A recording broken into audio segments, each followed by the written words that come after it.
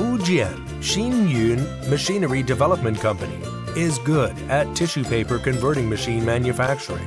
This facial tissue is for small scale factory to start.